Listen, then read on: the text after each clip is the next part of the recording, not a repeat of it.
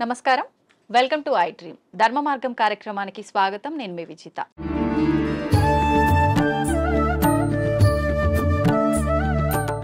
సాధారణంగా మనిషి యొక్క ఆయుష్ అనేది నూరేళ్ళు వంద సంవత్సరాలు అని చెప్పి మనందరం కూడా వాడుక భాషలో మాట్లాడుకుంటూ ఉంటాము.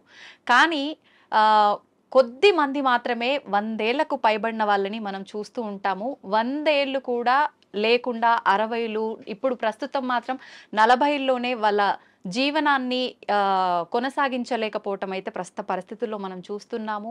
అసలు ఈ వందేళ్ళ ఆయుర్దాయం ఉండాలి అనంటే ఒకప్పటి కాలంలో వాళ్ళు ఎలాంటి ఆరోగ్యానికి సంబంధించిన జాగ్రత్తలు తీసుకునే వాళ్ళు మనకైతే చాలా వరకు అవగాహన లేదు. కానీ ప్రస్తుతం నాతో పాటు ఉన్నారు స్వామీజీ. వారు నూట తొమ్మిది సంవత్సరాలు వారి జీవనాన్ని కొనసాగిస్తూ ఉన్నారు. చాలా ఆరోగ్యంగా కూడా ఉన్నారు.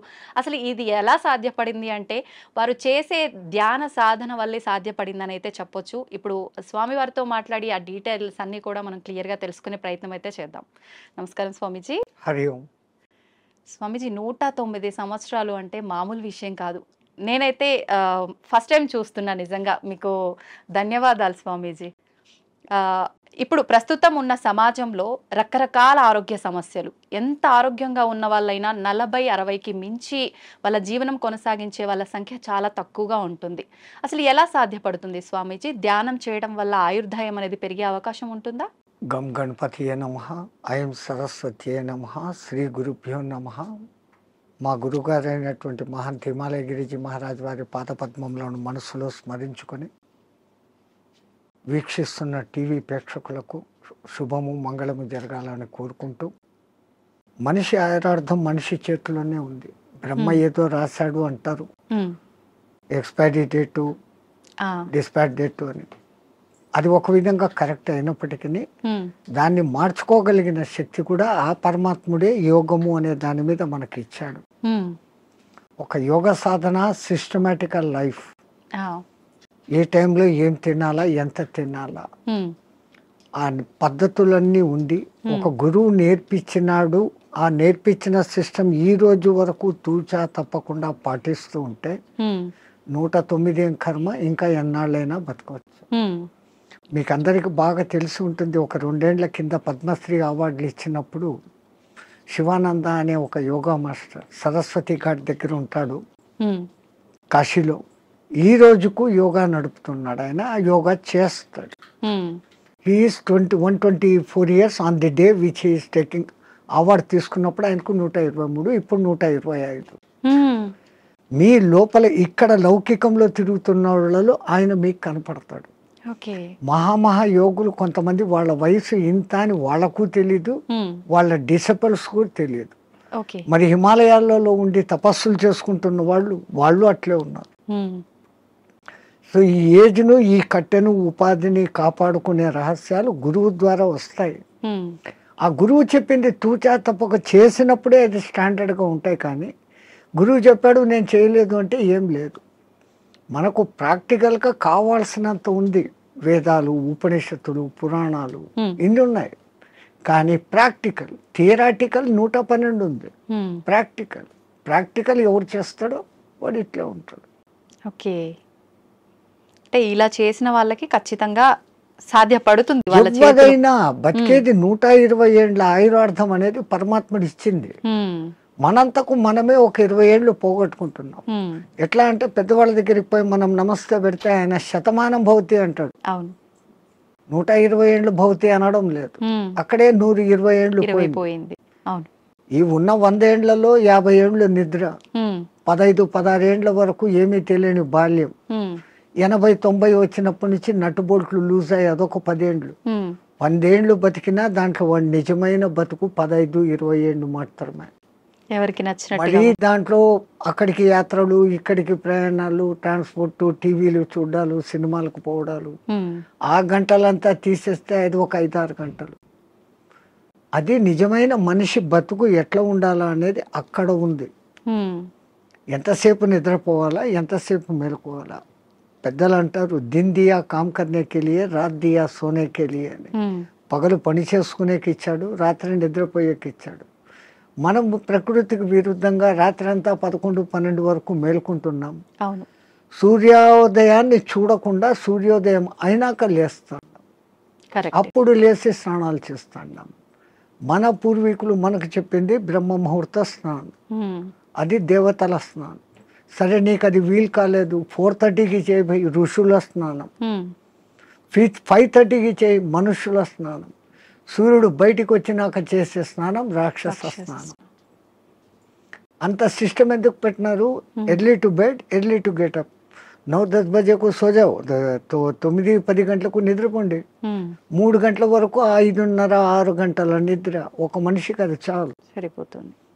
మనం అట్లా చేయడం లేదు. రాత్రి పదకొండు పన్నెండు వరకు మేల్కొని పొద్దున ఏడు గంటలకు లేస్తా. ఉన్నాం అవును. సో అక్కడ కొంచెం దెబ్బ. రెండవది తినే ఆహార పదార్థాలు. ఒకప్పుడు ఏ ఎరువులు వేయకుండా పండించేవాళ్ళు? ఆరు నెలలు ఏడు నెలలకు కానీ కోతకు వచ్చేది కాదు. ధాన్ గోధుమలు కానీ రైస్ కానీ. ఇప్పుడు మూడు నెలలు రెండు నెలలకి వచ్చేదానికి చేసేస్తా హైబ్రిడ్. ఆర్టిఫిషియల్ ఎరువులు వేసి. సో దాంట్లో శక్తి బలము ఉండడం లేదు. ఆ తినే విధానం కూడా హైయెస్ట్ బాయిలింగ్ చేసి తింటాను. జబ్బులు మూల కారణం అది.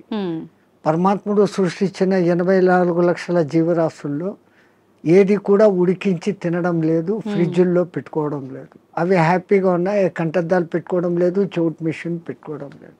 మనం పెట్టుకుంటున్నాం ఆ, కరెంట్ ఆ ఫుడ్కు వ్యతిరేకం. సహజ ఆహారం ఋషులు మునులు అంతా కందమూలాలు పండ్లు ఫలాలు. పరమాత్ముడు ఏది న్యాచురల్గా ఇచ్చినాడో అప్పటికది తినేస్తారు. మళ్ళీ సాయంత్రానికి రేపటికి అని దాచిపెట్టుకోవడం కూడా లేదు. ఓకే ఎప్పుడు తప్పుడే ఒకసారి చెట్టు నుంచి కట్ అయితే త్రీ అండ్ హాఫ్ అవర్స్లో తాను తిన్నప్పుడు ఆ చెట్టుకు దానికి కనెక్టివిటీ పవర్ ఉంటుంది. ఆ ఫలము శక్తివంతంగా ఉంటుంది. దాన్ని మనం ఫ్రిడ్జ్లో పెట్టేసి స్టాక్ పెట్టుకొని ఎప్పుడెప్పుడో తింటున్నాం ఆ చెట్టు కనెక్టివిటీ ఆ పండులో నుంచి పోతుంది. పండు రుచి ఉంటుంది. శక్తి తగ్గిపోతుంది. అయితే స్వామీజీ ఇప్పుడు మీలాంటి యోగులకే సాధ్యపడుతుందా? ఇప్పుడు మీరు చెప్పినట్టుగా ఇలాంటి ఆహార నియమాలు పాటించి ధ్యానం పైన ఫోకస్ చేస్తే నార్మల్ మనుషులకు కూడా సాధ్యపడుతుందంటారా? ఎవరికైనా అమ్మ ఉమ్, పరమాత్ముడు ఇరవై నాలుగు గంటలు టైం ఇచ్చాడు. ఇరవై మూడు గంటలు మీ నిద్ర మీ లౌకిక వ్యవహారాలు అన్నీ చూసుకోండి. ఉమ్, ఎంజాయ్ చేయండి. లవ్ మనిషి జన్మ ఎత్తాం ఆనందించాల. ఫ్రెండ్స్తో రిలేటివ్స్తో సినిమాలు ఎంజాయ్ చేయండి. బట్ వన్ అవర్ నాది అనుకోండి. ఈ వన్ అవర్లో ఒక half an hour body fitness ఎక్సర్సైజులు. ఒక్క ఫార్టీ ఫార్టీ థర్టీ మినిట్స్. నేను ఎవరు అన్న ప్రశ్న వేసుకొని మీలోకి మీరు ప్రయాణం. అది ఆత్మధ్యానం అంటాం మేము. ఓకే. బయటికి గమ్మని కూర్చొని ఉంటాం. దానికి ఇంకా ఎన్నో పద్ధతులు ఉన్నాయి. ఒక విగ్రహాన్ని ఊహించుకుంటూ ఆ విగ్రహ మంత్రమే చదువుతూ భ్రమర కీటక న్యాయం అయిపోవడం ఒక విధానం. ఏది లేది నిరాకారాన్ని చూడాలా అనుకున్నప్పుడు ఆ నిరాకారాన్ని జ్యోతిగా భావించి చూడడం ఒక విధానం. ఆ జ్యోతి నాలోనే వెలుగుతుంది అనుకొని ఆ జ్యోతి దర్శనం కోసం తప్పిస్తూ తపన చేయటం ఒకటి. ఓకే. ఇట్లా విధానాలు వేరే వేరేగా ఉన్నాయి. మన ఋషులు మనకు వందల మార్గాలు చూపించారు. ఎవరికి ఏది అడాప్టబుల్లో ఎవరికి ఏది సూటబుల్లో ఎవరికి ఏది సులభంగా చేసుకోగల శక్తి ఉందో వాడు అది చేసుకుంటాడు. మనకు ఆ చాయిస్ ఇచ్చాడు పరమాత్మ. బట్ మనం యూటిలైజ్ చేసుకుంటాం. ఓకే. అయితే స్వామీజీ ఇప్పుడు మీరు ఆధ్యాత్మిక మార్గం వైపు వెళ్ళటానికి యోగిలా మారటానికి కారణం ఏంటి? మీ కుటుంబ నేపథ్యం ఏంటి? మాకు కుటుంబం అంటూనే లేదు. పరమాత్ముడి దయ నా అదృష్టం నా పూర్వజన్మ సుకృతం. నేను రెండు ఏళ్ళ పిల్లవాడిగా ఉన్నప్పుడు హరిద్వార్లో ఉన్న ఒక మేళాలో మిస్ అయినాను మీరు జాతర ఉత్సవం అంటారు అట్లా అక్కడ మేము మేళా అంటాం. ఆ మేళాలో మిస్ అయినా. ఏ ప్రాంతం నుంచి వచ్చానో నా కులం మతం ఏమి నాకు తెలియదు బై మిస్టేక్ తప్పిపోయినానో మా తల్లిదండ్రులకు బరువై నన్ను వదిలిపెట్టారో ఏ కారణమైనా నాకేదో పూర్వజన్మ పుణ్యం ఉండబట్టి మా గురువుగారు అనే మహంత్ హిమాలయ గిరిజి మహారాజ్ వారు వారు తన స్థానం రుద్రప్రయాగ నుంచి ఆ మేళాకు వచ్చి ఉండి నన్ను చూసి చేరదీశారు. ఆయనే విద్యాబుద్ధులు చెప్పించారు. ఆ తర్వాత ఆయన దగ్గరనే ఏడున్నర ఏళ్ళు శిష్యరికం చేసిన తర్వాత డిగ్రీ అయిపోయిన తర్వాత ఆ మహానుభావుడు ఆ ఏడున్నర సంవత్సరాలలో ఈ కుండలిని విద్య యోగము పురాణాలు ఇతిహాసాలు వేదము ఓకే. ఈ సాధనాలు. చెప్పి ధర్మ ప్రచారం నీ కర్తవ్యం. దేశం ఎట్లుందో తెలుసుకోవాలంటే ముందు పాదయాత్రతో దేశమంతా తిరిగిరా చార్ధామ్ దర్శన్ అన్నారు. బడా చార్ధామ్ అని ఒకటి చిన్న చార్ధామ్ అని రెండు ఉన్నాయి. ఓకే. బద్రీ కేదార్ గంగోత్రి అనేది చార్ధామ్ చోట. బడాది బద్రీ నుంచి పూరి జగన్నాథ్ రామేశ్వరం ద్వారక. ద్వారకా నుంచి స్వస్థానం అంటే ఒక్క కాశ్మీర్ విడిచిపెట్టి మిగతా మన దేశం అంతా ఒక చక్కర కొడతాం. ఈ పవిత్ర భారతదేశంలో ఎన్ని సాంప్రదాయాలు ఉన్నాయి ఎంతమంది ఆహారపు అలవాట్లు ఉన్నాయి ఎన్ని వాతావరణ పద్ధతులు ఉన్నాయి ఈ ఉపాధికి అవన్నీ అకష్టం కావాలా? నాకు ఇదే కావాలా అన్నవాడు సన్యాసి కాదు. ఓకే. నాకు అన్న మాట వచ్చిందంటే నేను నీ దగ్గర అన్ని వదిలిపెట్టినానన్న మాటకు విరుద్ధం. సర్వం న్యాసం నీ దగ్గర నేను పెట్టేశాను. నీవు నేను తప్ప ఏమీ లేదు అనేది సన్యాసం. మరి అటువంటప్పుడు మళ్ళీ నాకు ఇది కావాలా? నాకు చపాతీలే కావాలా? నాకు ఏసీ రూమే కావాలా? ఇవన్నీ విరుద్ధం. సో ఈ విరుద్ధతకు ముందు ఈ శరీరాన్ని తయారు చేసేదానికి గురువులు ఆ సాధనలు నేర్పిస్తారు. పంచాగ్ని విద్య అని జల ఉపన్యాసం అని ఇట్లాంటి కొన్ని ఉంటాయి. అవి నేర్పటం మూలంగా చలి ఎండావానలకు ఈ శరీరం తట్టుకునే స్థితికి వస్తుంది. అలాగే ఆహారం విషయంలో పదకొండు పన్నెండు రోజులు తినకుండా కూడా అదే శక్తిగా ఉండే సాధన కొన్ని మంత్రాల మూలంగా ఇన్నర్ శక్తిని పెంచుకునే. ఓకే. మన చుట్టూ ఉన్న శక్తినే మనం దాన్ని లోపల. పట్టుకోగలగడం. ఓకే. ఆ సాధనలు వాళ్ళు నేర్పిస్తున్నారు దాన్ని చేసుకుంటూ పోతున్నాం. అట్లా అని తిండి లేకుండా ఉండాలా అని దాన్ని ప్రయోగించకూడదు. అత్యవసర అత్యవసర పరిస్థితుల్లో. ఓకే. శక్తులు ఉన్నాయని అది దుర్మార్గానికో స్వ అవసరానికో వాడుకోకూడదు. వాడుకోకూడదు. అత్యవసర పరిస్థితి ఇంకోని రక్షణకు. అప్పుడు దాన్ని వాడుకోవచ్చు. మనకు ఆహారం దొరకనప్పుడు అది చేయొచ్చు. ఓకే. అదొక ప్రదర్శనగా చేసినప్పుడు ఆ విద్య వాడి నుంచి పోతుంది. అంటే అది మీకు మీరుగానే చేసుకోవచ్చా స్వామీజీ? వేరే వాళ్ళ పైన కూడా మీరు అలా ఎవరికైనా చేయొచ్చు. ఇప్పుడు చాంద్రాయణ వ్రతము అని ఉంటుంది. అది అందరికీ తెలిసిందే. మొదట ఒక పౌర్ణమి రోజు మగలంతా ఉపవాసం ఉండనిచ్చి చంద్రోదయం అయిన తర్వాత బాగా పదైదు పిడికిళ్ళ రొట్టె ముక్కలు దానికి అవసరమైన రెండు రకాల సబ్జీ దాల్ పెరుగు నెయ్యి బెల్లము అన్నీ పెడతారు. అసలు సామాన్యంగా ఒక మానవుడు అంత తినలేడు. అంత పెడతారు. ఆ, తర్వాత చంద్రకళలు ఎట్లెట్లా తగ్గుతాయో ఒక్కొక్క ముఠి తగ్గిపోతా పిడికెడు. తగ్గిపోతా వస్తుంది. సో అమావాస్యకు ముందు దినం ఒకే పిడికెడు ఉంటుంది. అమావాస్య పొద్దు ఏమీ ఉండదు. First fifteen days untolerable. ఉమ్, మనిషికి అలవాటు కాదు. మళ్ళీ ఒక్కొక్క పిడికెడు పెంచుకుంటూ పౌర్ణమికి మళ్ళీ పదహారు ముద్దల భోజనం. ఓకే. మళ్ళీ రెడ్యూస్. మళ్ళీ డెవలప్. మళ్ళీ రెడ్యూస్. ఇట్లా చేస్తారు మొదట్లో మాకు కూడా చాలా బాధ అనిపించి మా గురువుగారితో అడిగాం.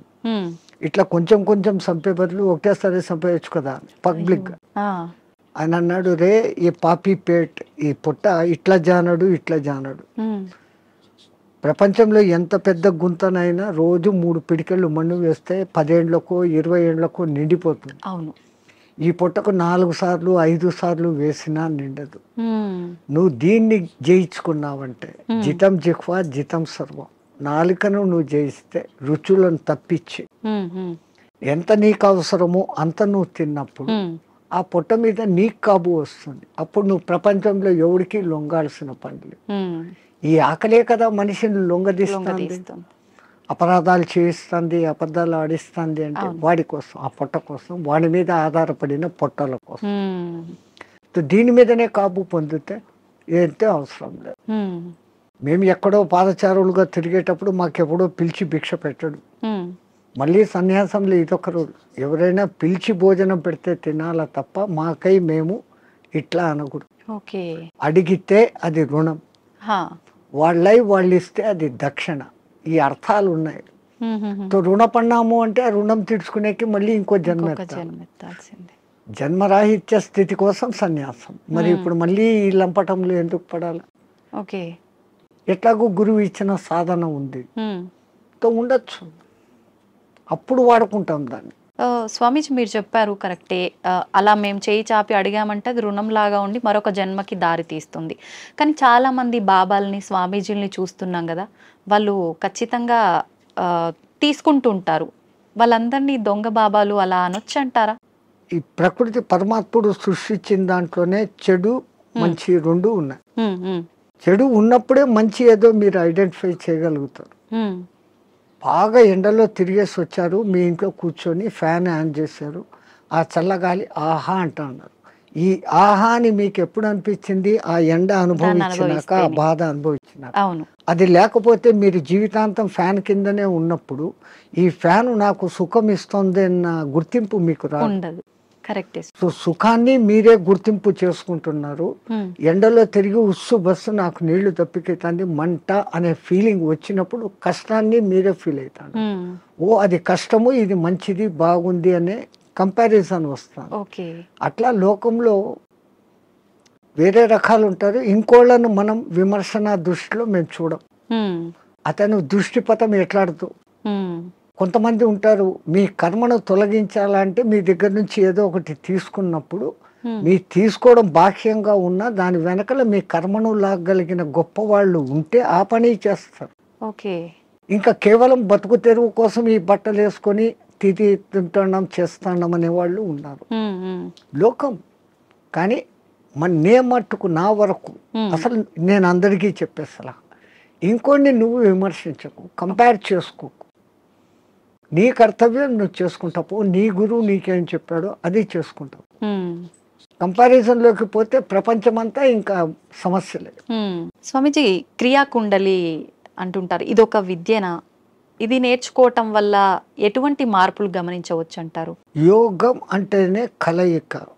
విడిపోయాం పరమాత్మ నుంచి మళ్ళీ పరమాత్మతో కలవాలా అనుకోవడమే యోగం. ఆ ఒక్క యోగ సాధనకు మన పూర్వీకులు అనేకంగా.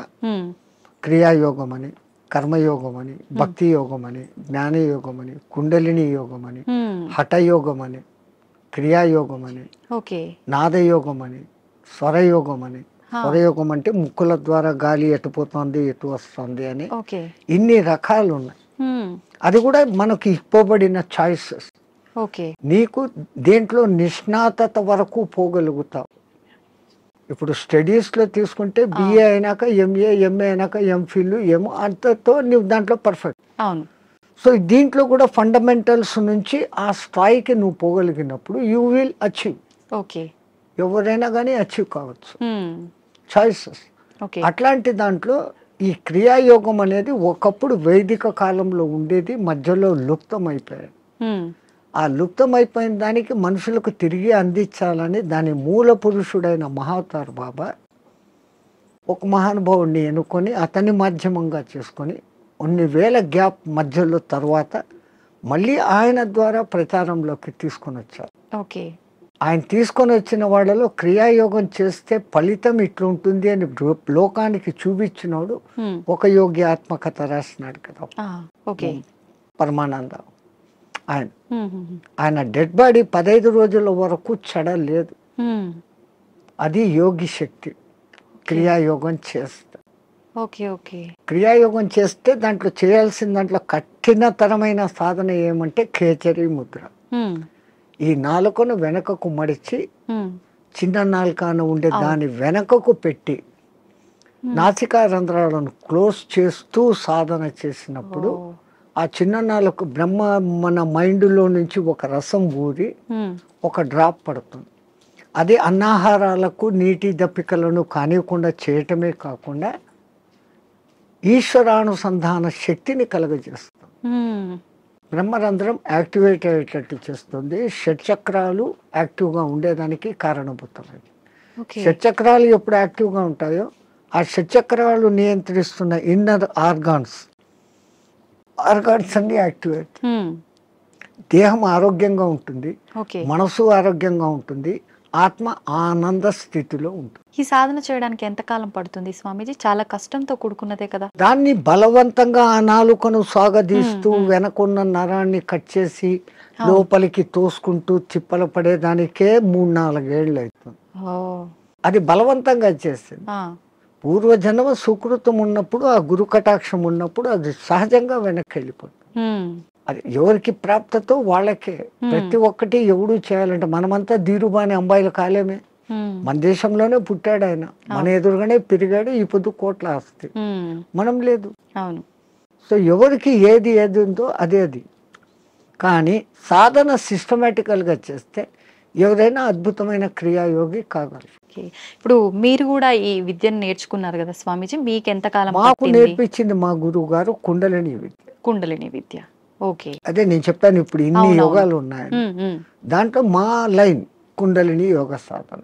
మీరు మీ గురువుగారి దగ్గర నేర్చుకున్నారు. మళ్ళీ మీరు మీకు శిష్యులు వాళ్ళకి సాధన నేర్పించడం ఇలాంటివి చేస్తుంటారా స్వామీజీ? ఎందుకంటే మొట్టమొదట నేను గురువు అనిపించుకోవడం నాకు ఇష్టం లేదు. ఓకే. ఎందుకని? అందరూ గురువులే. పత్రిజీ అంటారు you are masters I'm also master you are gods I'm also god అంటారు.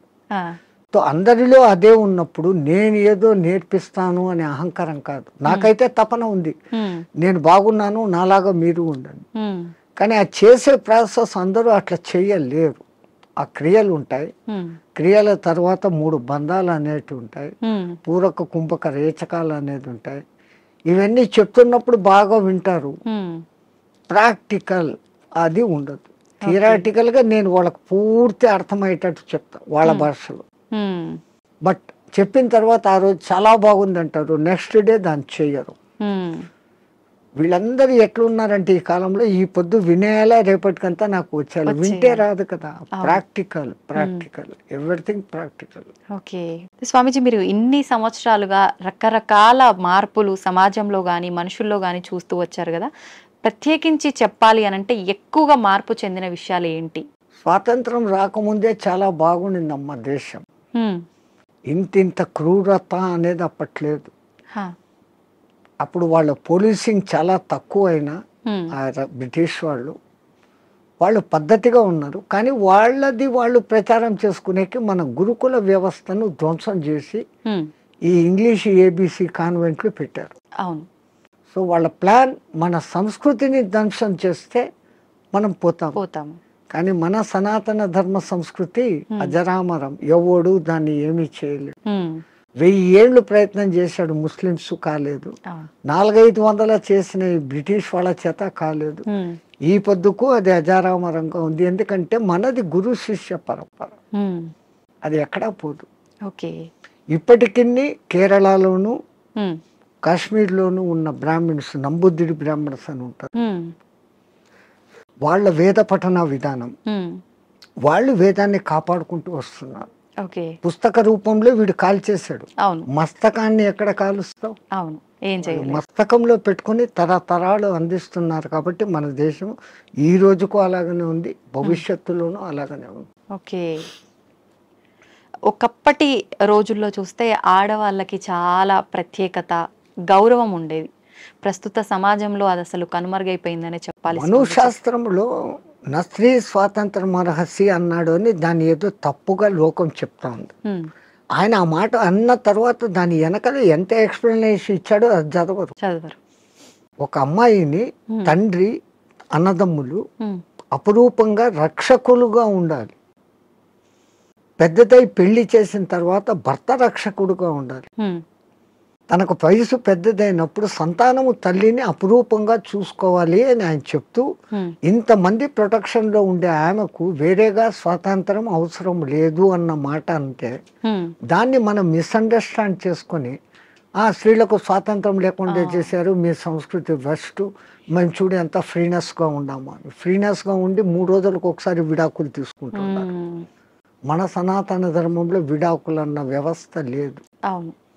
ఒక్కసారి పెళ్ళి చేసుకుంటే జీవితాంతం వాళ్ళిద్దరూ కలిసిమెలిసి ఉండాలా అన్నంత వ్యవస్థ పెట్టారు. ఆ, స్వామీజీ మీరు అన్నది కరెక్టే కానీ ప్రస్తుత సమాజంలో చూసుకుంటే విడాకుల సంఖ్య చాలా పెరిగిందనే చెప్పాలి. ఎందుకంటే ఈ డామినేషన్ పెరిగిపోయింది. నేను నీలాగా చదువుకున్నాను నన్ను తక్కువ ఎక్కువ చూస్తున్నావు అన్న డిఫరెన్స్లు వస్తాను. ఒక చిన్న కాంప్రమైజ్ ఆయన అట్లా అన్నాడు నేను ఇట్లా అన్నాను అంటే అది విడిపోతుంది. ఎవరో ఒకరు తగ్గడము ఎక్కడము చేసుకుంటూ పోయినప్పుడు ఆ బంధం మొదట్లో కొంచెం కొట్లాటలు జరిగినా జీవితాంతం సాగుతుంది. ఈ మధ్య ఏమైపోయింది? చిన్న చిన్న విషయాలకు కూడా ఆ ఫారినర్స్ లాగానే ఈ రోజు పెళ్ళి మూడు నెలలకే డైవర్స్. అభిప్రాయ భేదాలు లవర్స్ పెళ్ళి చేసుకున్న వాళ్ళు కూడా విడిపోతారు. ఉమ్, వీళ్ళు ఒకళ్ళనొకళ్ళు ముందు అర్థం చేసుకోవడం. ముందు అర్థం చేసుకొని ఈమెది తన ఇంట్లో తాను రాణిలాగా పెరిగింది. ఇప్పుడు వాళ్ళందరినీ వదిలి మా ఇంటికి వచ్చింది. నా పేరు నిలబెడుతుంది. నా కుటుంబంలోకి వచ్చి అని ఆమెను అంత గౌరవంగా ఈయన చూసుకున్నప్పుడు. ఇప్పుడు మా అమ్మా నాన్నలు మా అత్త మామలే నా మొగుడే నాకు దేవుడు అన్నట్లు ఈమె చూసుకున్నప్పుడు లోకంలో ఈ డిఫరెన్సెస్ రావు. రావు. తప్పు ఇటు ఉందా అటు ఉందా కాదు వీళ్ళిద్దరి మధ్య సరి అయిన అవగాహన ఉందా అండర్స్టాండింగ్ కూడా లేదు. ఒక తల్లికి ఏం భయం ఉంటుంది? ఇరవై ఏళ్ళ వరకు పెంచుకున్న కొడుకు ఎక్కడ ఆమె కొంగులో కట్టేసి వెళ్ళిపోతుందో అనేది తల్లి బాధ. నేను మా వాళ్ళందరినీ ఇడిచిపెట్టి ఇక్కడికి వస్తే ఈమె పెత్తనం ఏంది? నా మొగుడుతో నాకు స్వేచ్ఛ లేదు అని ఈమె. కరెక్ట్ చెప్పారు స్వామీజీ. ఆ భావ ఈ విధంగా ఉన్నప్పుడు ఇట్లుంటుంది మా అమ్మని విడిచిపెట్టేస్తాను వీళ్ళే ఈ అత్తమామలే నా అమ్మ నాన్న అనుకున్న మెంటాలిటీలోకి ఈమె వచ్చినప్పుడు గొలాట లేదు నా ఆడబిడ్డలు వేరే ఇంటికి ఇచ్చాను. ఆ పేరే ఆడబిడ్డ. అవును. ఈడబిడ్డ కాదు కాదు. ఆడబిడ్డ అంటాడు. నా బిడ్డలు నాడిచ్చాను అట్లాగనే కదా నాకు వచ్చింది. ఈ కొడలు ఇప్పుడు నా కూతురు అనుకుని చూసుకుంటూ వీళ్ళు ఉన్నప్పుడు. ఎక్కడ కొట్లాట్లు? ఎక్కడ తేడాలు? అట్లా ఉన్న కుటుంబాలు కూడా ఉన్నాయి ఎన్నో నేను చూశాను. చాలా మంది ఇండ్లకు నేను భిక్ష పోయినప్పుడు అమ్మ అమ్మ అని తిరుగుతుంటే ఆ అమ్మాయిని నేను వాళ్ళ కూతురు అనుకున్నాను వచ్చినోడు వాళ్ళ అల్లుడు అనుకున్నాను చూస్తే వీళ్ళ కొడుకు ఆమె కోడలు. కోడలు. అంత అన్యోన్యంగా ఉన్నా. ఎంత హ్యాపీ ఫీల్ అవుతా అవును. అది ఎక్కడో ఒక్క కుటుంబంలో అత్తాకోడంలో గలాటలు డామినేషన్లు. అవును. ప్రపంచమంతా అట్లా లేదు మన భారతదేశం అట్లా లేదు. ఎందుకంటే మనం పెంచిన పెంపుదల పిల్లల్లో ఆ ప్రవర్తన అట్లే ఉంది మన సనాతన ధర్మం. అది చెప్పకపోవడంతో ఈ మధ్య ఈ డిఫరెన్స్. సమిష్టి కుటుంబంలో ఉన్న పెరిగిన పిల్లలు అద్భుతంగా ఉంటారు. ఎందుకంటే వాళ్ళకి అన్ని ఆప్యాయతలు మా మా అత్త ససు బహుశ అన్ని వరుసలు అక్కడ ఉంటాయి. అవును. పెళ్ళికి ముందు నుంచే అత్త మేనత్త. మేనమామ మామ అత్త ఇవన్నీ వరుసలు ఉంటాయి. అవును. సో ఆ affection లో పెరిగిన వాడు వాడు ఎప్పుడు లవ్ డిస్ట్రిబ్యూట్ చేయాలని చూస్తాడే తప్ప ఈ ఇన్కన్వీనియన్స్ ఫీల్ కాడు. ఇన్సెక్యూరిటీ ఫీల్ కాడు. ఇప్పుడు సమాజం ఎట్లా ఉంది పెళ్ళి పొద్దు చేసుకుంటారు వేరే కాపురం అంటారు. అవును. ఆ పుట్టిన పిల్లలను వీళ్ళిద్దరూ ఉద్యోగాలకు వెళ్ళిపోతారు. ఆయానో లేకుండా అంటే ఇంకెక్కడో అవును వాడు అఫెక్షన్ లేకుండా పెరగటంతో మనిషిలో క్రూయాలిటీ పెరుగుతా. ఇప్పుడు జరిగే ఈ అరాచకాలన్నిటికీ కారణం ఇదే అంటారా నేను? అదే. వాడు ఇన్సెక్యూరిటీగా పెరిగాడు. అవును అవును. దురలవాట్లకు ఈజీగా పడిపోతాడు. డామినేషన్ వస్తుంది. అవును. ఇవన్నీ కారణం వానికి లవ్ అండ్ అఫెక్షన్ దొరకపోవడం అసలు తల్లి మామూలుగా ప్రేమగా పాలివ్వడం లేదు. కరెక్ట్ ఆరు నెలలు ఒక్క సంవత్సరం ఆ తల్లి వెచ్చదనం అనుభవిస్తూ ఆ పాలు ఆ ముఖాన్ని చూస్తూ చేసిన వాడిలో ఉండే అఫెక్షన్ ఆ తల్లి నాన్న కన్నా అంట మాట్లాడిస్తూ ఉండే ఆ అఫెక్షన్ వాని భవిష్యత్తులో ఇంకొన్ని హింసించాలా తిట్టాలనే భావన రాదు. అన్నింటికీ మూల కారణం ముందు తల్లి. ఆ బిడ్డను తల్లి అట్లా పెంచితే అన్నీ అట్లే ఉంటాయి. ఒక జిజియాబాయ్ శివాజీని తయారు చేసింది. ఎంత అద్భుతంగా. ఒక రామకృష్ణ పరమశ ఎవరికైనా వీళ్ళ వెనకాల ఒక తల్లి ఉంది. ఆ తల్లి డైవర్షన్ ఇంత అద్భుతంగా. స్వామీజీ ఇందాక మీరు అన్నారు బ్రాహ్మీ ముహూర్తంలో ఎవరు పాటించట్లేరు పాటించాల్సినవి అని చెప్పి. నిజంగా మన సనాతన ధర్మమే చాలా గొప్పది. అందులో బ్రాహ్మీ ముహూర్తం గురించి చాలా గొప్పగా చెప్పారు మీలాంటి పెద్దవాళ్ళు కూడా. ఎందుకు అంత గొప్పతనం బ్రాహ్మీ ముహూర్తానికి? ఫస్ట్ లేచినాక మలమూత్ర విసర్జన చేసేయాలి. Three thirty four o'clock. Okay. Fifteen twenty minutes ఆ పని. వెళ్ళాక శుభ్రంగా స్నానం చేయాలి. భాష్యంగా మనం ఎంత శుద్ధం చేసుకున్నా. ఒక గ్రాము ఇక్కడ ఒక గ్రాము ఇక్కడ ఒక గ్రాము ఇక్కడ పది గ్రాములు మైనస్ ఉంటుంది. ఓకే. బట్ బాహ్య శుద్ధి నేను స్నానం చేసినప్పుడు అంతర్శుద్ధి కూడా ఆటోమేటిక్గా కలుగుతుంది. ఓకే. నవ్వు ఐఆమ్ క్యూర్ ఐఆమ్ ప్యూర్ అన్న భావన ఇక్కడ వచ్చినప్పుడు ఆ భావన ఇన్నర్కు కూడా తగులుతుంది. పోతుంది. అవును. ఆ బ్రహ్మముహూర్త టైంలో మీకు సౌండ్స్ ఎక్కడ ఉండవు. ప్రశాంతంగా ఉంటుంది. ఇంకా పక్షులు లేచి కిలకిలా రావాలి కూడా చేయవు. ప్రకృతి అంత ప్రశాంతమైన తపస్థితిలో ఉన్న స్థితిలో ఉంటుంది. ఆ వైబ్రేషన్స్ హిమాలయాలలో జపాలు తపాలు చేసుకుంటున్న వాళ్ళ వైబ్రేషన్స్ అంతా ఆ గాలిలో కలిసి ఉంటాయి. ఓకే. దాంతో మనం కూడా కూర్చొని ప్యూరిఫై అయ్యి ఏదో ఒక సాధన గురువు చెప్పింది. ఇదంతా ఏది లేదు పత్రి చెప్పినట్లు శ్వాస మీద ధ్యాస. సంథింగ్ సంథింగ్ ఏది ఆలోచన లేకుండా కూర్చుంటే. ఒక మనిషి ఒక దినంలో ఇప్పుడున్న పరిస్థితుల్లో. ఇది అది ఇది అది అంటూ అరవై వేల ఆలోచనలు చేస్తాడు. సముద్రంలో అలలన్నా ఏ పొద్దున్నా అలసిపోయి గమ్మనైతాయేమో కానీ. ఈ మనోతరంగాలు అలవడం లేదు okay one after one one after one even మీరు నిద్రపోయినా నిద్రలో ఐదు గంటల సేపు మనసే పనిచేసి కలలు చూపిస్తుంది. అవును. ఆ ఒక్క గంట సౌండ్ స్లీప్ హ్మ్. అది మన నిజమైన తత్వం. అక్కడ మనం ఆత్మతత్వంలో ఉన్నాం. బట్ ఆత్మతత్వంలో ఉన్నాం అన్న సంగతి మనకు అప్పుడు తెలీదు. తెలీదు. లేచిన తర్వాత I had a sound sleep అంటాను. సో ఈ సాధన ఉపాసనలు మన పెద్దవాళ్ళు నువ్వు మేలుకొని సుషుప్తి స్థితిలోకి పో అనేదానికి హ్మ్. ఈ సాధనలు వ్యవహారాలు. ఓకే. అయితే ఇప్పుడు సాధనలు ఇవన్నీ చేయలేని వాళ్ళు నార్మల్ వాళ్ళు ఇప్పుడు బ్రహ్మీ ముహూర్తంలో ఇలాంటి పనులు చేయాలి అలాంటి పనులు చేయాలి. అసలు కరెక్ట్ బ్రాహ్మీ ముహూర్తం అంటే ఏ సమయం నుంచి ఏ సమయం వరకు? అదే చెప్పాను కదా. Three to three forty five 3:45. దేవతల time. Okay. Three forty five to four forty five Hmm. ఋషుల time hmm. Four forty five to five forty five మానవుల టైం ఓకే. ఆఫ్టర్ దట్ రాక్షసుల టైం అని అంట. ఇప్పుడు ప్రతి ఒక్కరూ రాక్షసుల టైంలోనే అన్ని స్నానాలు సూర్యోదయం అప్పుడు ఆ అరుణ కిరణాలు అని వస్తాయి కదా. దాంట్లో ఎన్నో రకాల మనకు ఆరోగ్యాన్ని ఉత్తేజాన్ని కలిగించే వేవ్స్ ఉంటాయి. అల్ట్రా వైలెట్ ఇన్ఫ్రారెడ్ ఎలక్ట్రోమాగ్నెటిక్ దానికి ఏమో ఇప్పుడు ఈ పేర్లన్నీ పెట్టారు. అప్పుడు సూర్యుని ఏడు వర్ణాలకు కలుపుకొని దాంట్లో తెలుపులో ఏడు వర్ణాలు ఉన్నాయని మన వాళ్ళు గుర్తించి చేస్తాను ఆ సాధన వర్ణ సాధన. ఇప్పుడు అదే కలర్ థెరపీ అని మళ్ళీ బయటకు వచ్చింది రంగు బాటళ్ళలో నీళ్ళు పెట్టి సూర్యుడి దగ్గర పెట్టి బయట. ఎండలో ఏడు రోజులు అట్లా పెట్టిన నీళ్ళు తాగితే ఆ కలర్కు సంబంధించిన జబ్బు ఉన్న వాళ్ళకి క్యూర్ అవుతారు. ఒక్క సూర్యుడు ఆరోగ్య ప్రదాత అని మన వాళ్ళు చెప్పారు. దాంట్లో నుంచే ఇన్ని వస్తున్నాయి హ్మ్. ఇప్పుడు మన భూమి మీద పెరుగుతున్న మూలికలు అన్నీ పెరుగుతున్నాయంటే సూర్యుడు ఆధారం. నైట్ పూట తన సూర్యకిరణాలనే చంద్రుని మీదకి పంపించి అక్కడి నుంచి రిఫ్లెక్ట్ అయ్యి అది ఔషధులకు శక్తిని ఇస్తున్నాడు. సర్కిట్. ఓకే. సో అందుకే మన పూర్వీకులు గుర్తించి ఆరోగ్యం భాస్కరాది చేత అన్నారు Hmm. ఆరోగ్యం సూర్యుని చేతిలో ఉంది ఓకే స్వామిజీ ప్రాణాయామం ఇది చేసే వాళ్ళు ఎక్కువ కాలం జీవించే అవకాశం ఉంటుందంటారు కదా హండ్రెడ్ పర్సెంట్ హ్మ్. పూర్వీకులు చెప్పిన లెక్క twenty one thousand six hundred respirations ఇరవై ఒక్క వేల ఆరు వందల హంస జపం Hmm. సాధారణంగా ఎవడో చేసేస్తాను ఇన్వాలంటరీ. అప్పుడు ఆ ఊపిరితిత్తులు ఇంతే ఇంతే పని చేస్తుంది. ఇటు తీసుకుంటున్నాం ఇట్లా వదిలేస్తాం ఆ. పరమాత్ముడు మనకు ఊపిరితిత్తులు ఇంత పని చేసేకి ఇచ్చాడు. దాంట్లో టెన్త్ కాదు కదా వన్ పర్సెంట్ కూడా మనం చేయడం లేదు. తీసుకుంటున్నాం వదులుతున్నాం తీసుకున్న గాలిని యూటిలైజ్ చేసుకోవడం లేదు ఉపయోగించుకోవడం.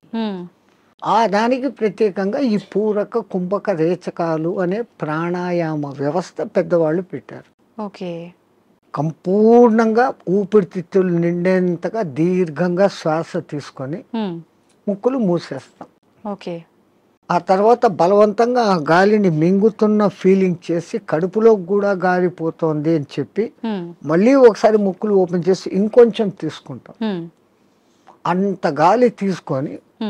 మన కెపాసిటీని బట్టి థర్టీ సెకండ్ ఫార్టీ సెకండ్స్తో ఆరంభించి ఓకే నెలలు సంవత్సరాలు గడిచేసరికి two minutes two and half minutes వరకు. ఆ కుంభకంలో ఉంచినప్పుడు తీసుకున్న గాలి మొత్తం యూటిలైజ్ అయ్యి. కణాలు ఇడిచిన కార్బన్ డైఆక్సైడ్ అంతా వచ్చి బయటకు వచ్చేస్తుంది ఓకే అది రేచకం హ్మ్. ఈ విధంగా చేయడంలో మనకు శాస్త్రజ్ఞులు మన ఆ పూర్వీక శాస్త్రజ్ఞులు చెప్పింది హ్మ్. ఇడా పింగళ అనేది సూర్య చంద్ర నాడులు. ఒక ముక్కు ద్వారా చల్లని గాలి బాడీలోకి వస్తుంది ఒక ముక్కు ద్వారా వేడి శరీరంలో శీతోష్ణాలు సమస్థితిలో ఉండి ఆ రెండింటిని నియంత్రించగలిగినప్పుడు వాయువు ఈ రెండు ముక్కులలో కాకుండా. మనకున్న డెబ్బై రెండు వేల నాడులలో పదకొండు నాడులు ముఖ్యం. కండ్లకు పోయేది చెవులకు పోయేది ముక్కులకు పోయేది. ఇవన్నీ కాకుండా ఈ పదకొండింట్లో మళ్ళీ సుషుమ్న అనేది మూలాధార చక్రం నుంచి సహస్రారం వరకు కనెక్టివిటీ కలిగిన ఒకే ఒక్క నరం. ఓకే. మిగతాది కొన్ని చోట్ల వచ్చి కట్ అయిపోతాయి ఎన్ని చోట్ల వచ్చి కట్ అయిపోతాయి. ఇది అఖండంగా మూలాధారం నుంచి అక్కడ దాకా వస్తుంది. దాని లోపలికి గాలి ప్రవేశం చేసినప్పుడు అక్కడ జరిగే సంచలనం మనిషికి దీర్ఘాయుష్ అసలు ఈ ప్రాణాయామం చేస్తేనే దీర్ఘాయుష్ కారణం మామూలు మనిషి ఒక నిమిషంలో పదైదు రెస్పిరేషన్లు తీసుకుంటే నేను నిమిషం సేపు గాలిని బంధించగలిగినాను అంటే నాకు పదైదు రెస్పిరేషన్లు సేవ్డ్ కదా. It is in my bank account okay.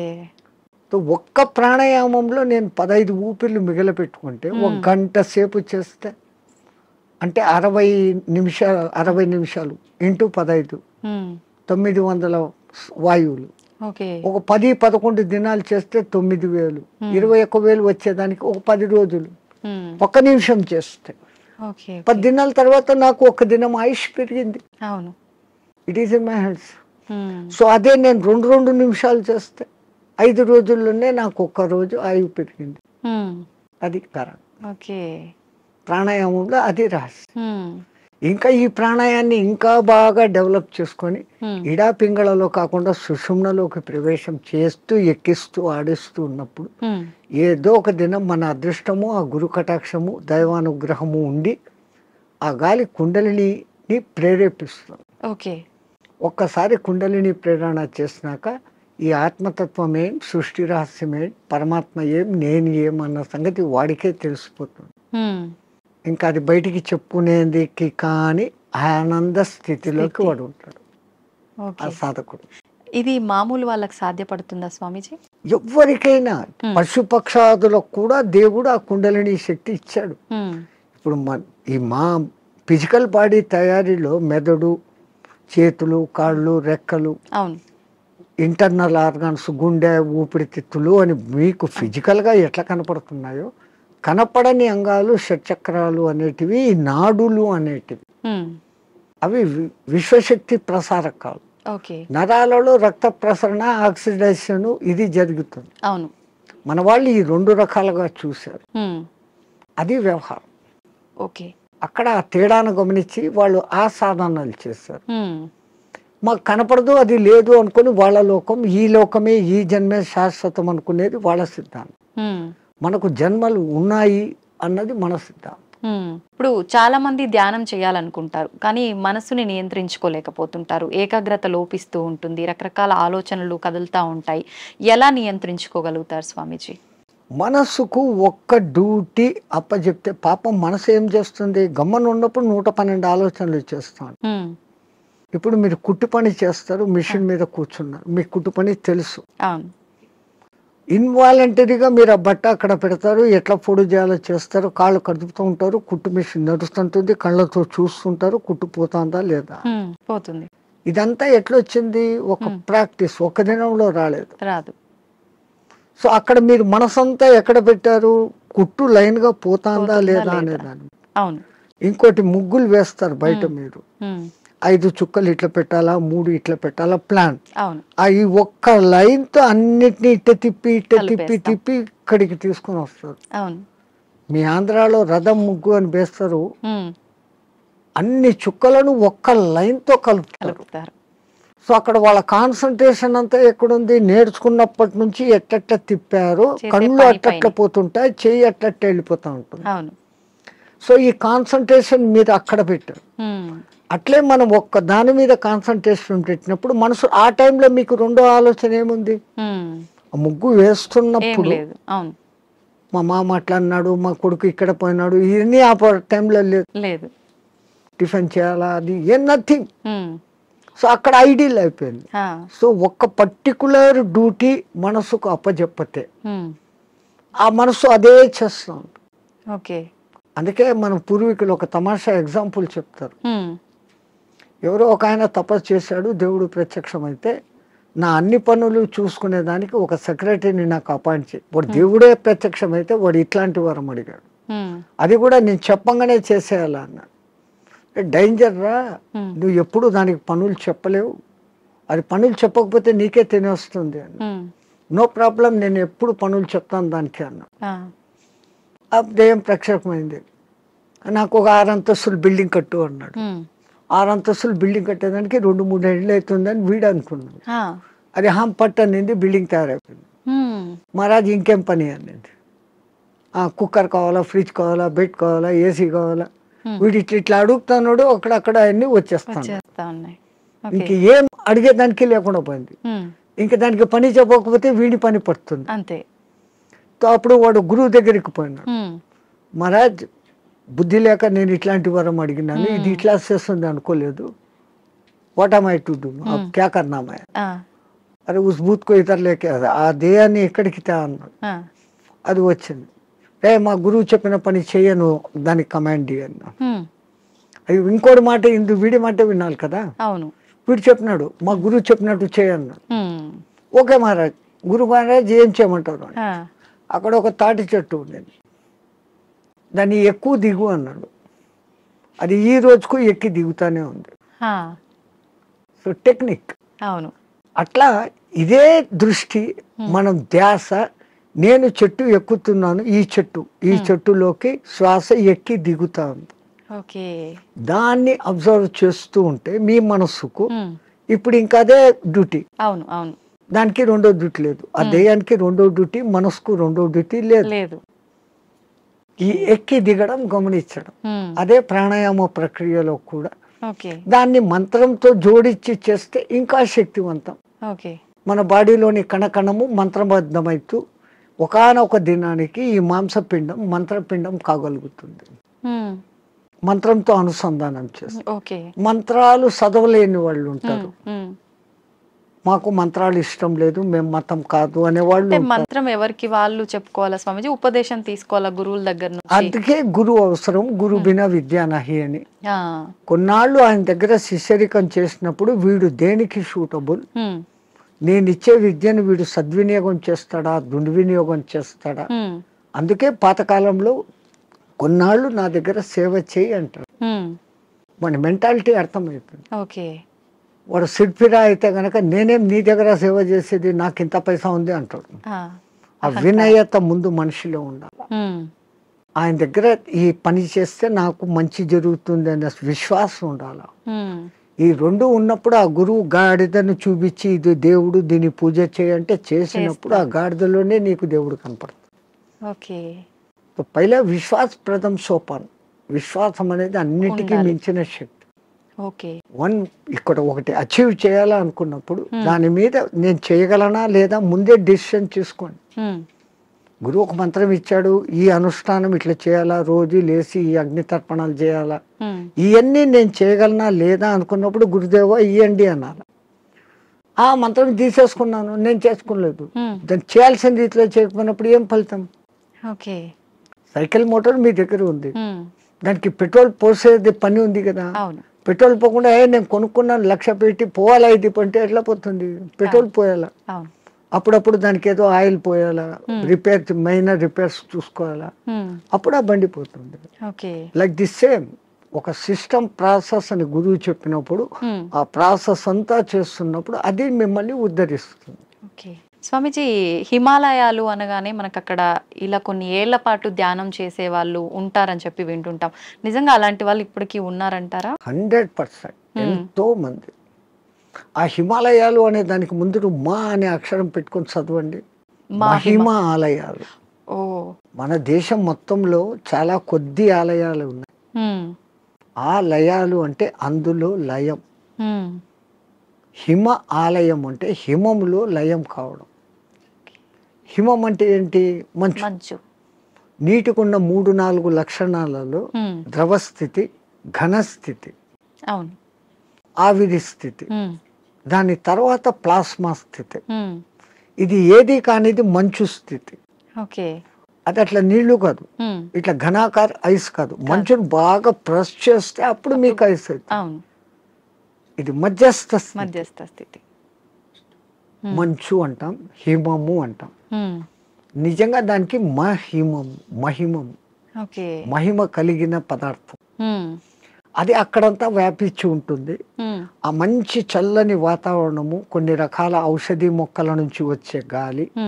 మన పూర్వీకులు పూర్వీకులు తపస్సు చేసిన వాళ్ళ యొక్క వైబ్రేషన్స్ దేవతలు కూడా అక్కడ తపస్సు చేశారు గొప్ప గొప్ప ఋషులు తపస్సు చేశారు ఇప్పుడు చేస్తున్న వాళ్ళు ఉన్నారు. వాళ్ళ యొక్క వైబ్రేషన్స్ ఆ ఏరియాలో ఉంటాయి కాబట్టి మనం తొందరగా దానికి అకష్టమవుతాం ఉమ్, అందుకని అవి ఎప్పటికీ హిమ ఆలయాలు ఆలయాలు.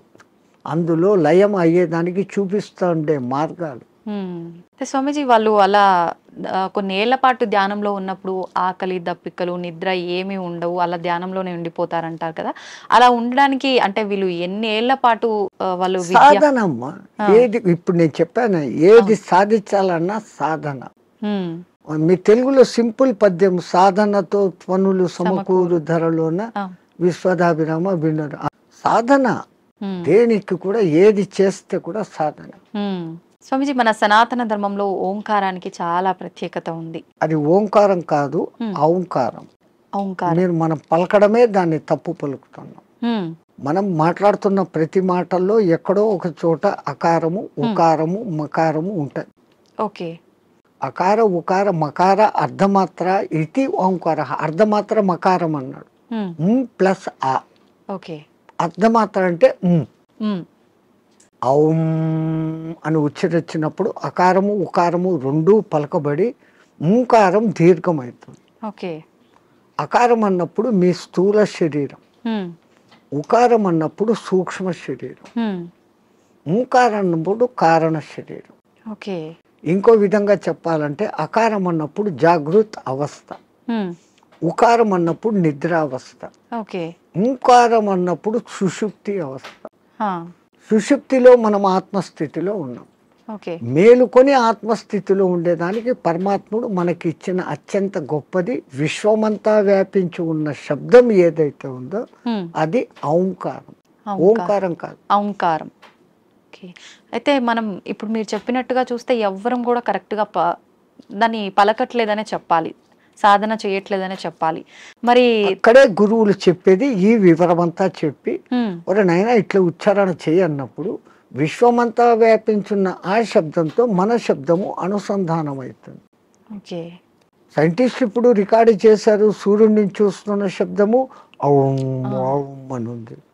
గెలాక్సీ సౌండ్ ఔం అని ఉంది. భూమి తిరిగే వేగపు సౌండ్ గ్రహాలు తిరిగే వేగపు సౌండ్ వేరే వేరే విధంగా వినపడుతున్నాయి కానీ అంతంగా ఔం అన్న శబ్దమే ఉంది. సో దాన్ని ఇట్లా అట్టాడు చేసినప్పుడు ఔం ముక్కుల ద్వారా వదులుతున్నాం. మనం చేసేది ఓ అంటున్నాం. నోటి ద్వారా ఓడ అవును.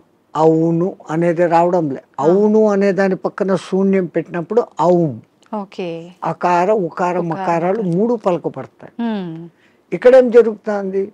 ఓ అంటున్నాం. అవును. నోటి ద్వారా గాలిపోతాం. అవును.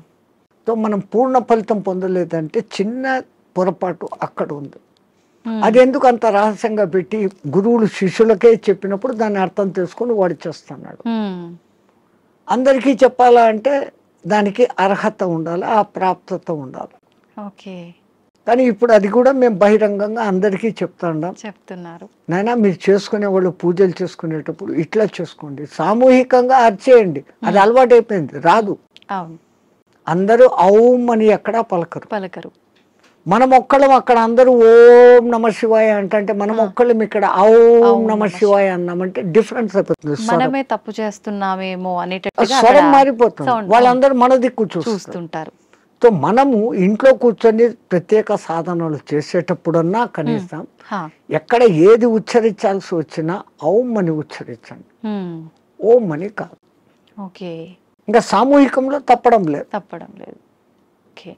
పది మంది కూర్చొని శివ సహస్రనామము అష్టోత్తరము ఏదో ఒకటి చేస్తారు. ప్రతి దానికి ఓం నమ శివాయ. ఓం శంభవైత నమో భయోశ్వరాయ నమో నిధనపతి నమ నిధనపతాంతకాయ నమ.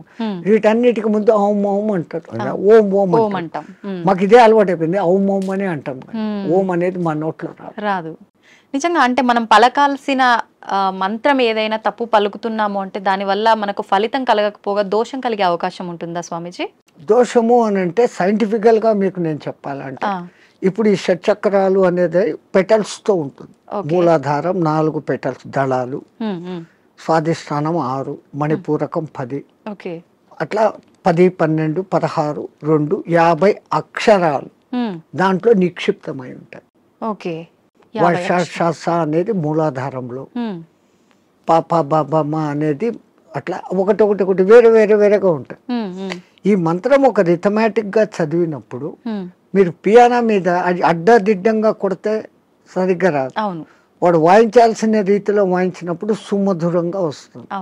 ఇట్లా ఈ మంత్రం కూడా ఆ లెహర్ చదివినప్పుడు ఈ ఈ పెటల్స్ కదులుతాయి. ఆ పెటల్స్ కదిలినప్పుడు ఆ చక్రం కంట్రోల్ చేస్తున్న మీ ఇన్నర్ ఆర్గాన్స్ మూలాధారము పెద్ద పేగును కంట్రోల్ చేస్తుంది. ఓకే.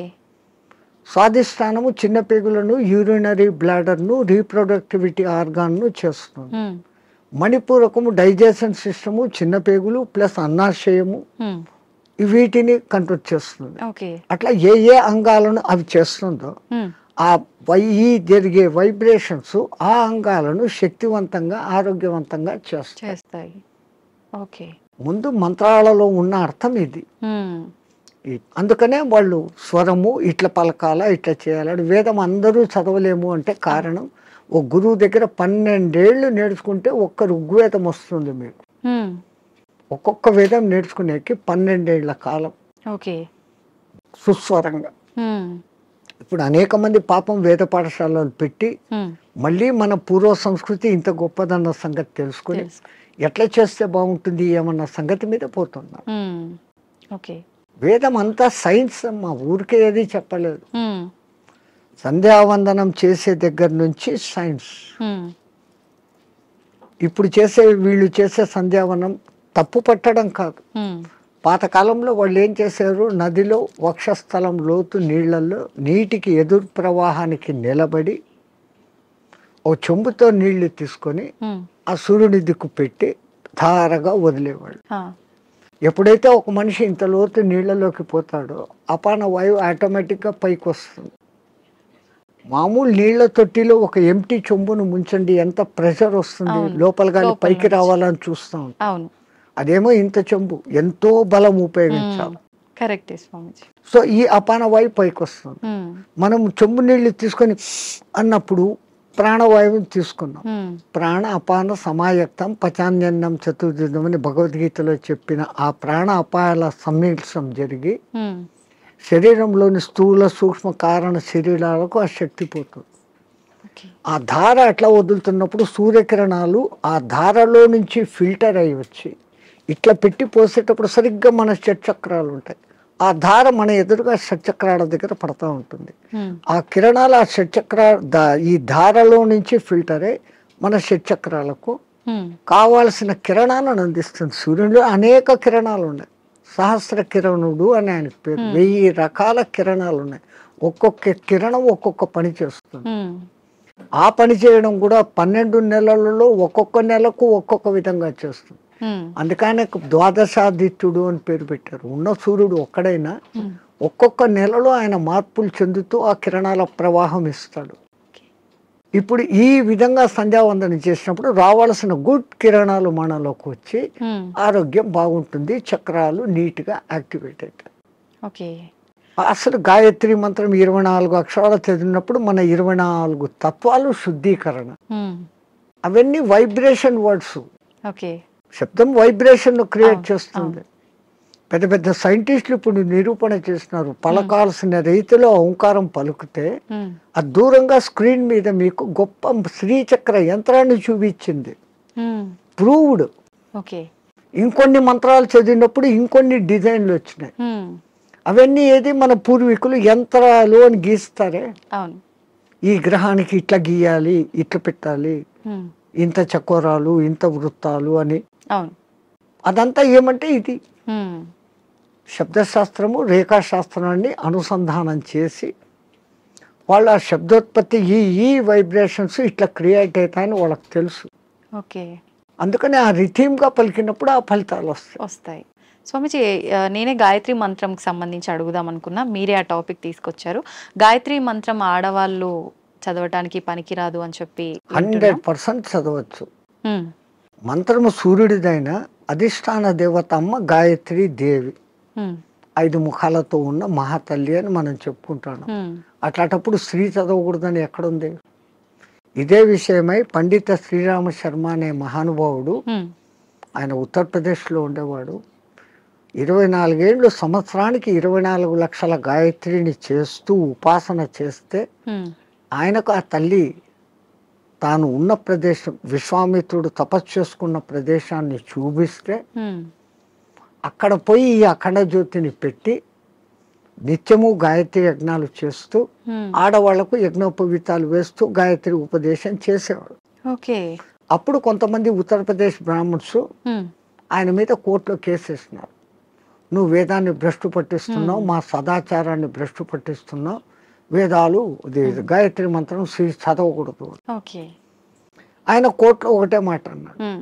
అయ్యా మీరు వేదాలు ఉపనిషత్తులు అన్నీ చదివారంటారు కదా? ఎక్కడైనా ఒక్క శ్లోకము స్త్రీకి గాయత్రి ఉపదేశం చేయకూడదు అని రాసి ఉంటే పలానా ఋషి చెప్పాడు పలానా దేవత చెప్పాడు అనే కోటింగ్ ఒక్కటి ఉంటే నాకు ఇవ్వండి. నా బ్రాహ్మణత్వాన్ని నా సంస్థను మూసేస్తా. నా బ్రాహ్మణత్వాన్ని వదులుకొని జనేవి తీసేస్తాను అన్నాడు. వీళ్ళు మూడు నెలలు తల కింద కాళ్ళు పైన పెట్టి ఎతికారు. లేదు. ఎందుకు స్త్రీకి లేదు అన్నారంటే ఆమెకు కుటుంబ బాధ్యతలు ఎక్కువ. ఈ మాసికంలో వాళ్ళకు ఈ పీరియడ్ కొంచెం ఇబ్బందికరంగా ఉంటుంది. అప్పుడు ఆ అనుష్ఠానం ప్రకారం కనీసం ఇరు న్యాయంగా గాయత్రి చేయాలంటే ఇరవై నాలుగు ముద్రలు వేస్తూ ఒక్కొక్క ముద్ర వేస్తూ ఒక్కొక్కసారి గాయత్రి ఇరవై నాలుగు అక్షర గాయత్రిలన్నా చేయాలి. ఓకే. మళ్ళీ దాంట్లో మూడు రకాలు ఉన్నాయి. ఒక్క గాయత్రి త్రిపద ఎనిమిది ఎనిమిది అక్షరాలతో ఉండాలి. అది అనుష్టుప్ ఛందస్సు అని ఇంకోటి ఉంది ముప్పై రెండు అక్షరాలు. అది నాలుగు పాదాలు ఉంటుంది. అది కూడా ఎనిమిదవ అక్షరాలుగానే ఉమ్, అదంతా ఒక రహస్యం. మళ్ళా నవార్ణవ గాయత్రి అని ఒకటి ఉంది. అది చేయాలంటే అమ్మవారి నవార్ణవం అనే పూజలు ఎట్లా చేస్తామో దాంట్లో తొమ్మిది ఔంకారాలు వస్తాయి. ఓకే. అవి ఎట్ట పట్టాలా ఏది చేయకూడదు అది బహిర్గతం చేయని విద్య. గాయత్రి అంటేనే రహస్యం అంటారు. అవును. కానీ ఆ మహానుభావుడు అది అందరికీ అర్హత కలిగించాడు కుల మత భేదం లేదు. ఎందుకంటే అది మంత్రం సూర్య మంత్రం ఆ పండిత శ్రీరామ శర్మకు కుడి భుజంగా ఉన్నవారే రామకృష్ణ మహానుభావుడు. ఉమ్, ఆయన కూడా ఇదే చేశాడు. ఆ గాయత్రి దీని మూలంగా ఆ మహానుభావుడు అంత శక్తిమంతుడే. పండిత శ్రీరామ శర్మకు తగిన శిష్యుడు అని పేరు తెచ్చుకున్నాడు. ఉమ్, ఆ మహానుభావుడే చేరదీసి బాగా దగ్గరుండి చేసిన వాడే మీకు ఇప్పుడు బాగా ప్రసిద్ధుడైన మారళ్ళ రవిశాస్త్రి. ఓ ఆ పరంపర అట్లా వస్తుంది. ఉమ్, అదంతా పండిత శ్రీరామ శర్మ దయ. ఓకే. స్వామి దైవాన్ని నమ్మటం వల్ల పుణ్యక్షేత్రాలకు తిరగటం వల్ల మనశ్శాంతి అనేది లభిస్తుందంటారా? Hundred percent. అసలు మీరు పోవడమే ఆ ఇంటెన్షన్. కాశీకి పోతే నాకేదో పుణ్యం వస్తుంది ఆడ ఏదో వదిలిపెట్టేస్తానే సెంటెన్స్ కాదు అది. కాశీలో ద్వాదశ జ్యోతిర్లింగాలలో విశ్వనాథుడు అక్కడ ఉన్నాడు. విశ్వానికి ఆయన నాథుడు. ఆ క్షేత్రానికి పోయి ఆయన నామస్మరణ కొంచెం సేపు నేను చేయటం మూలంగా నాకు ప్రశాంతత దొరుకుతుంది అని ఫస్ట్ మీలో విశ్వాసం కలిగినప్పుడు. అక్కడున్న అన్నపూర్ణ అనుగ్రహము కలుగుతుంది. ఆ బేడి ఆంజనేయ స్వామి కరుణ గణేష్ పండు మహారాజ్ది అందరిది దొరుకుతుంది. అందుకే ప్రతి ఒక్క రుచిముని అక్కడ స్థాపించిన లింగాలు ఉన్నాయి మూడు వేలకు పైన గుళ్ళు ఉన్నాయి కాశీలో. శివునికి ఇష్టమైన ప్రాంతం అది. ఉమ్, భూమి అంతా మునిగిపోయినా కానీ త్రిశూలం పైన నిలబెట్టి ఉంటాడు అని చెప్పబడిన ప్రసిద్ధ క్షేత్రం. కాశీ కాశీ అంటూ కాశీకి పోక పోయకుండా చచ్చిపోయినా కాశీకి పోయినంత పుణ్యం కలిగే క్షేత్రం అదొకటే. మిగతా క్షేత్రాలకు పోతానని ముక్కుబడి పెట్టుకొని పోకుండా పోతే ఏదో ప్రమాదము వానికి శిక్ష ఉంది. కాశీ విషయంలో అలా లేదు. అంతటి గొప్ప అక్కడికి వచ్చింది అంటే ఒకటి ప్రజల విశ్వాసము అక్కడ తపస్సులు చేసిన వాళ్ళ యొక్క శక్తి ధార. ధార పోయడం అనేది ఆ ప్రాంతానికి ఆ ప్రసిద్ధత వస్తుంది ఓకే. భూమి అంతా ఒకటే అయినప్పటికీ. సులభమైన ఉదాహరణ. ఇప్పుడు ఎండాకాలం కాదు మామూలు చిన్న ఎండ ఉన్నప్పుడు ఒక భూతద్దం తీసుకొని వచ్చి పేపర్ మీద పెడితే అది కాలుతా ఉంది. ఆ భూతత్వం నుంచి కిరణాలు కాన్సన్ట్రేషన్ అవును. అట్లా విశ్వశక్తి కాన్సన్ట్రేషన్ ప్రదేశాలు కొన్ని. అవి పుణ్యక్షేత్రాలు తీర్థక్షేత్రాలు. ఓకే. తీర్థయాత్రలు. తీర్థం అంటే నీళ్ళు. నీళ్ళు ఆ నీళ్ళు ఎన్నో కొండల నుంచి ఆ ఖనిజాలను రాసుకొని దానిలో తీసుకొని చెట్ల వేర్ల ద్వారా ఆయా మూలికల శక్తిని తీసుకొని. అవి రావటంతో ఆ నీళ్ళు తాగితే శుభం ఆ నీళ్ళలో స్నానం చేస్తే స్కిన్ డిసీజెస్ పోతాయి. ఓకే. సో అది నీళ్ళ శక్తి తీర్థయాత్రలు పుణ్యక్షేత్రాలు అని పెట్టారు. స్వామి ఇందాక మీరు స్టార్టింగ్లో అన్నారు కదా ఆ, చాలా మంది అంటుంటారు కాశీకి వెళ్ళినప్పుడు మనం ఏదో ఒకటి నచ్చింది వదిలిపెట్టి రావాలి అని చెప్పి చాలా మంది నమ్ముతుంటారు అసలు నిజంగా ఎవరికి నచ్చిన దాన్ని వాళ్ళు వదిలేసి రావాలా అసలు వదిలేయాల్సిన ఏంటి అవును నేను ఇట్లే చెప్తే ఒక ఆయన నాతో అన్నాడు అవును స్వామి. మీరు చెప్పినట్లే ఖచ్చితంగా వదిలిపెడతాను మా నానమ్మ మా ఇంట్లో ఉంది ఆమెను తీసుకెళ్తా కాశీకి ఆమెను వదిలేస్తాను అన్నాడు. అది కాదు. మనకు అత్యంత ఇష్టము ప్రేమ కలిగిన పదార్థము తినేది కావచ్చు. మనం ఇరవై నాలుగు గంటలు దాన్ని చూసి ఆనందించే వస్తువు కానీ హ్మ్. దాన్ని అక్కడ వదిలేసి ఇంకా దాన్ని తలుచుకోకుండా ఉండగలమంటే మన మనస్సు మీద మనం నియంత్రణ సాధించడం. మైసూర్ పాకు మీరు అక్కడ వదిలి వచ్చారమ్మా మీకు బాగా ఇష్టం. ఇక్కడికి వచ్చిన పదో రోజు పన్నెండో రోజు ఎవడో పార్టీ పెట్టాడు. ఆడ మైసూర్ పాకు చూడంగానే ఈ కళ్ళు మీకు ఆర్డర్ ఇస్తుంది. ముక్కు పాకను పట్టేస్తుంది. నాలుక నీళ్ళు ఉడతాయి. ఏ నేను కాశీలో వదిన నోర్మోయ్ నేను తినాను. అంటే మీ మీద మీకు మెల్లగా. కమాండ్ వచ్చింది. కనీసం ఆ భయంతోనన్న. అట్లా కాశీలో వదలడం మూలంగా మీలో ఆత్మస్థైర్యత అనేది పెరుగుతుంది. ఓకే. అది బ్యాక్ రీజన్. కానీ ఏదో ఒక రీజన్. చాలా మంది రకరకాలుగా అనుకున్నా కూడా దాన్ని అయితే నమ్ముతూ వస్తున్నారు ఇప్పటికి. కారణం వెనకల కారణం ఇది అని మీకు తెలుసుకోవడం. అవును. అక్కడ మీకు ఆత్మ స్థిరత ధైర్యము అనేది పెరుగుతుంది. Self confidence. I can able to do this without that అది లేకుండా నేను ఉండలేను అన్న వాళ్ళు అది లేకుండా ఎదురుగా కనపడుతూ కూడా అది లేకుండా ఉండగలిగిన స్థితి అంటే మీలో ఎంతటి స్టెబిలిటీ వచ్చినట్లు? అది ఆత్మస్థైర్యం. మన పూర్వీకులు ఏది చేసినా అంత ఆలోచనతో. నీలో ఆత్మశక్తి పెరగాలంటే నీకు అత్యంతగా ఇష్టమైంది అక్కడ వదులు. వదలాలి. ఎందుకంటే ఆ కాలంలో కాశీయాత్ర జీవితంలో ఒక్కసారి. అవును. ఆ వేల కిలోమీటర్లు నడిచిపోయి మళ్ళీ వెనక్కి వస్తాడు ఆ కాటికి పోయినవాడు కాశీ అదేమో సామెత ఉంది మీ దాంట్లో. కాదా కాశీకి పోయినవాడు కాశీ కాటి కాటికి పోయినవాడు ఒకటి అని. అవును అవును. మళ్ళీ తిరిగి రారు అని చెప్పి. ఆ కాలం అట్లుండింది అడవులలో పోవాలి దారిలో జంతువులు. వాతావరణం మారిపోవచ్చు. అవును. ఇన్నిటినీ తట్టుకొని అక్కడికి పోయి మళ్ళీ రాగలిగినాడంటే వాడు దేవునిగా పూజించేవాడు. రెండవది వాడు వచ్చేటప్పటికి అక్కడ కాశీలో నేను పలానా వదిలేసి వచ్చాను మూనుకున్నాను అన్నప్పుడు వాళ్ళలో ఇక్కడ ఆత్మశక్తి పెరిగి. వాడు ఇక్కడ ఎవరికి ఏ మంచి మాట చెప్పినా అది జరిగిపోతుంది వాక్ శుద్ధి వస్తుంది. So when you develop your confidence you can able to do anything so to develop your confidence. అక్కడ పోయినాక ఒకటి వదులు అని వదిలిన వాళ్ళు బెనిఫిట్ పొందుతూనే పొందుతారు స్వామి చాలా మంది అంటుంటారు అంటే ఇప్పుడు ఇందాక మీరు చెప్పినట్టుగా వెళ్ళిన వాళ్ళు తిరిగి రారేమో అన్న ఒక ఉద్దేశంతోటో మరేంటో తెలియదు కానీ చాలా మంది నమ్మకం ఏంటంటే పిల్లలు ఉండి వాళ్ళ పెళ్ళిళ్ళు అన్నీ అయిపోయిన వాళ్ళు మాత్రమే కాశీకి వెళ్ళాలి దర్శించుకోవాలి అవన్నీ అవ్వని వాళ్ళు కాశీలోకి. పోయి సస్తే మోక్షం అనుకుంటే కాదు. నాకు తెలిసి ఒక మంచి కోటీశ్వర దంపతులు. మూడవ తరాన్ని కూడా చూసేశారు ఓకే ఆ మూడవ తరం కూడా ఎయిటీన్ ఇయర్స్కి వచ్చింది. మనబళ్ళు హా. ఇంకా ఇంత అనుభవించిన కాశీలో పోయి చచ్చిపోతాం వయసు కూడా అయిపోయింది. ఎనభై ఏళ్ళు వచ్చినాయి ఇద్దరు లవ్ మ్యారేజ్ ఇద్దరికి ఎనభై ఏళ్ళు భార్యాభర్తకి. బట్ డబ్బు ఉంది అక్కడ మంచి బిల్డింగ్ కొనుక్కున్నారు నలుగురు సర్వెంట్లను ఎత్తుకొని పోయినారు. వంట వండేకి పనులు చేసుకునేకి రోజు పోయి స్వామి దర్శన్ వస్తూ ఉన్నారు. ఎప్పుడో ఒకసారి బంధువులు ఫోన్ బిడ్డలు వాళ్ళది. అంత ఆధ్యాత్మిక. ఓకే. మర్జాయంగే మర్జాయంగే అంటున్నారు. ఏడేండ్లేంది ఎనిమిదేండ్లేంది పదేండ్లేంది. ఇక్కడ ఈ పద్దెనిమిది ఏండ్ల బిడ్డలు ఇరవై ఎనిమిది ఏండ్ల వయసుకు వచ్చినారు మన్మళ్ళు వాళ్ళకి మ్యారేజ్. ముగ్గురికి ఒకేసారి కుదిరింది. వేరే వేరే కమ్యూనిటీ హాల్. ఓకే. తత పెళ్ళి మాది అంటే అరే ఇక్కడ కాశీలో ఉండి పదహైదేండ్లు అయిపోయింది హ్మ్. నైంటీ ఫైవ్కి వచ్చినాం. అక్కడ గంగ నీళ్ళు తాగి రోజు శివప్రసాదాలు తిని ఇంకా పుష్ట్ తయారైనారు. హ్మ్.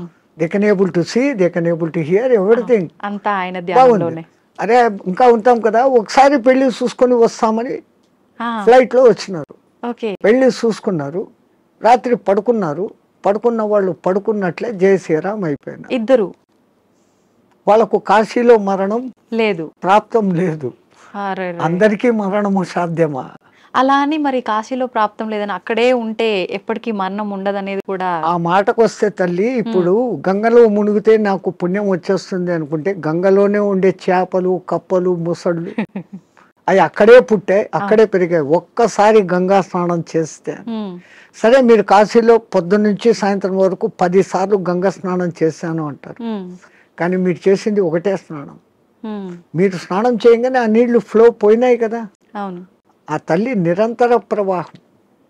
ఎప్పుడూ కొత్త నీళ్ళు అక్కడ స్నానం చేస్తే నాకు పవిత్రత వచ్చేసింది గంగలో చేస్తే కాదు. గంగలో స్నానం చేసే ముందు నా బుద్ధు ఇంతకు ముందు నా గత జన్మ బుద్ధులు.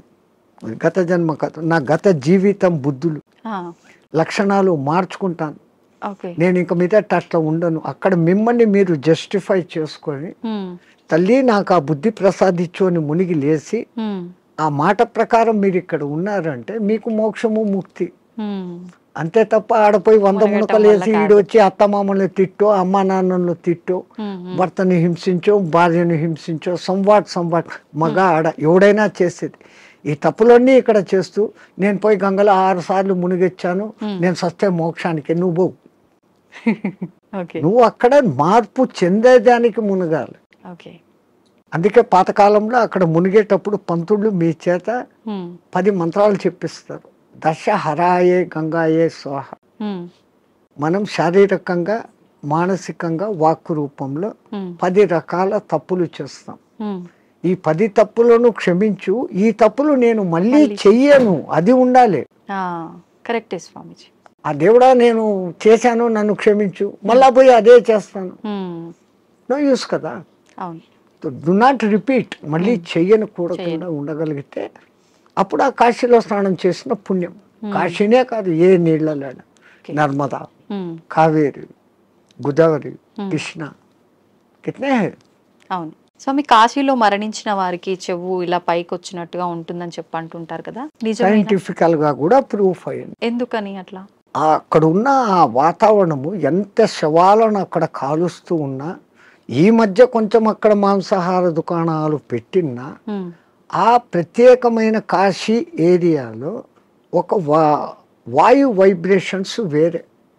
ఆ నిరంతర భగవన్నామ ఉచ్చారణ వైబ్రేషన్స్ ఆ గాలిలో కలిసి అక్కడ చనిపోయిన మనిషికి ఈ కుడి చెవు కింది భాగం దగ్గర ఒక నరువు ఉంటుంది. ఆ నరువు ఉబ్బుతుంది. బాడీ అంతా ఉబ్బుతుంది. ఫస్ట్ ఆ. నరువు అక్కడ ఉబ్బుతుంది. ప్రత్యేకంగా అక్కడ. మిగతా ప్రాంతాలలో అది జరగదు. ఓకే. పాపం సైంటిస్టులు ఎంతో ప్రయత్నం చేస్తూ ఉన్నారు. ఎందుకు అట్లా జరుగుతుంది అది ఇంకా తెల్ల రుజువు కాలే. అవునా? బట్ నైంటీ నైన్ పర్సెంట్ గుర్తించారు ఏ ఊరు చచ్చినా కొంచెం రెడ్డిష్ కలర్ వస్తుంది. కారణ్ అక్కడ ఓ- ఉస్క- ఓ నర ఆ న- ఆ నరము జర ఊబుతుంది. ఓకే. అయితే చాలా మంది దానికి రీజన్ ఇది అయి ఉంటుంది శివుడు అక్కడ చనిపోయిన వాళ్ళకి చెవులో ఏదో చెప్తాడు అది చూసి మన పూర్వీకులు అక్కడ వచ్చి రామతారకం చెవులో చెప్తాడు. ఆయన గట్టిగా చెవులు ఆగబట్టి అది అక్కడ ఎర్రగైంది అంటాడు. ఆయనకు అదే పని ఆ సచ్చినోడికి అందరి దగ్గర పోయి చెవులు పీకి చెప్తానే కూర్చుంటాడా? అంతే కదా. మనకు ఆ విశ్వాస్ కాశీలో నేను చనిపోతే శివుడు నన్ను స్పృశిస్తున్నాడు.